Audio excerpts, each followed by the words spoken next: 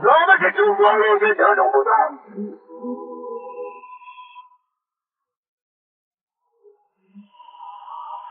如果美国海豹突击队遇上中国蛟龙突击队，会擦出什么样的火花？就在前不久，在日本海岸处，一艘海军补给舰和一艘货柜船相撞，随后又发生了四起船舶相撞和两起神秘坠机事件。经 CIA 情报科调查，是有人操控导航系统协同网络攻击造成的。美军定位了最近受到攻击的小型飞机，坠毁在中国南海的黄岩岛上。美方急不可耐的想要得到这项记录，派出海豹突击队潜入中国黄岩岛，想不留痕迹的拿走黑匣子。黄岩岛竹林密布。中国也会派出蛟龙突击队前来寻找残骸，救出失事飞机的领航员。美方要求海豹突击队尽量避免和中国蛟龙正面接触，能在蛟龙突击队赶到之前迅速行动，速度撤离。作战指挥部告知他们高价值目标在西北方向两公里处，穿过茂密的丛林。海豹突击队发现一只断裂的机翼，机身肯定就在附近不远。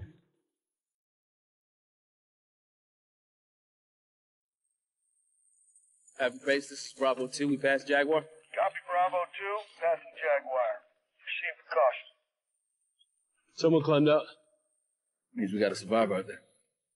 第二队发现有幸存者，立即上报。作战中心认为，如果那个人还活着，他们就必须找到他。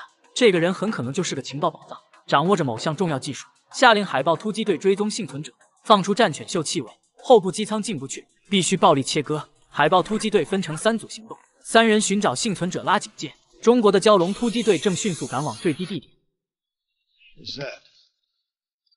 Chinese military does regular exercises in the area.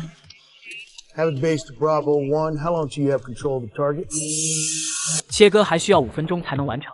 美军发现一架高空飞行的飞机已经进入他们的上空，他们不确定是不是中国的蛟龙突击队，必须加快手上的工作。战犬已经嗅觉到幸存者的踪迹。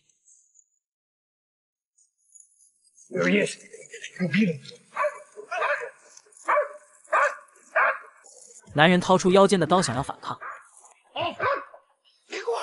你别跟我们走，把你放在仓库里，和你直接走。放下刀，或者我们就把口放开。趁其不备，突击队员从后面打晕了飞行员，拿走了他们想要的高价值密码箱。此时，空中传来了直升机的声音。海豹突击队抬头一看，Having base Bravo Six. See what appears to be five Heiho jumpers. Copy that, Bravo Six. 蛟龙突击队已经赶到，指挥官毫不在意。Chinese soldier hasn't fired on Americans. 但是现在情况不同，他们必须马上撤离。为了避免正面冲突，还不能原路返回。其中一名突击队员制造一些错误的行进轨迹，他们不想做出和中国人民解放军交火这样愚蠢的行为。